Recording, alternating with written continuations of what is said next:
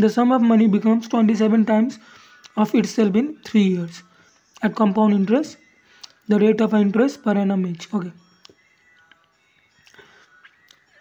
एक से कितना हुआ? सत्ताईस हुआ।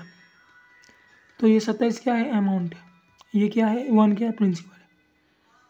ओके कंपाउंड इंटरेस्ट का फार्मूला डाल लिया amount equals to P one plus R by hundred to the power N amount का जगह में दीजिए सत्ताईस।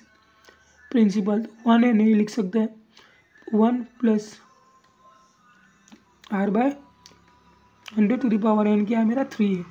ओके, अब ये सत्ताईस को ना मैं ये लिख सकता हूँ कि डायरेक्ट। तो इसको मिटा के थ्री का पावर क्यूब लिख सकता हूँ, क्योंकि यहाँ पे क्यूब क्यूब कट जाएगा। अब यहाँ से यहाँ पे थ्री है।